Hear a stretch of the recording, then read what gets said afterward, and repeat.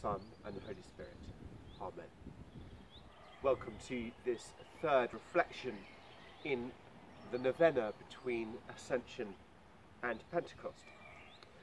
I'm going to again begin reading from St. John's Gospel, and this, like yesterday, is part of the discourse that Jesus is having with his disciples before his arrest on the evening of Maundy Thursday. Jesus said, On that day you will ask in my name. I do not say to you that I will ask the Father on your behalf, for the Father himself loves you, because you have loved me and have believed that I came from God. As we consider these words, we consider whether we do love Jesus and what it means to love Jesus. Is Jesus just a figment of our imagination, or as some people have argued, a conveniently constructed figure in history? Are the actions of Jesus real? We know that so many were crucified in the first century. Jesus was one of possibly thousands. We know that many others also claimed to be the Messiah, the chosen one. So Jesus was again one perhaps of many hundreds. And why is it that 2,000 years later I find myself standing on a rather chilly evening in May talking about Jesus' words?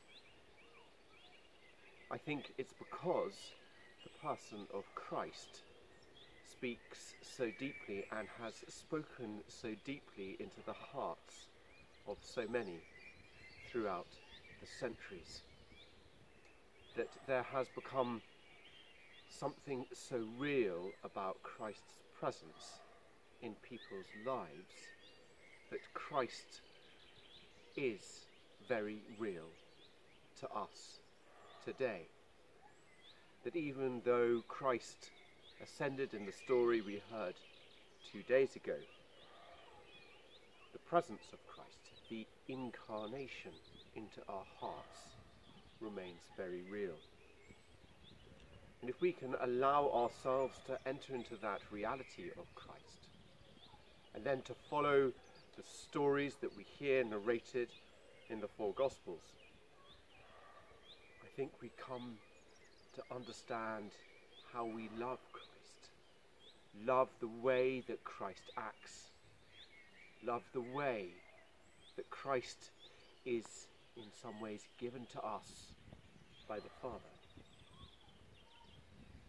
And this, in its mysterious way, in prayer, keeps Christ alive in our hearts and keeps us alert and alive Christ all around us.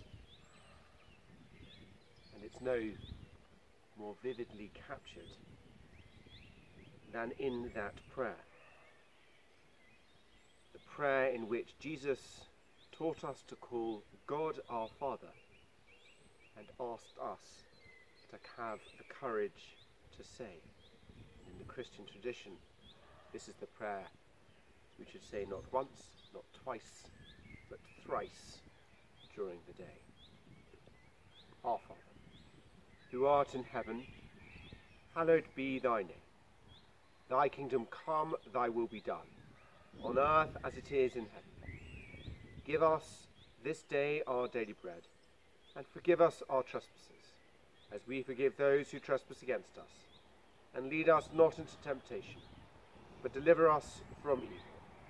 For thine is the kingdom, the power and the glory, for ever and ever. Amen.